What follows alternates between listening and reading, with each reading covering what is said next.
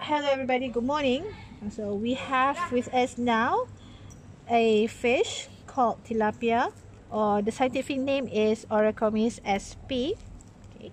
This fish has a laterally compressed body shape, has a pair of eyes, a pair of nostrils, also called nares, and this is the mouth, which is a terminal mouth.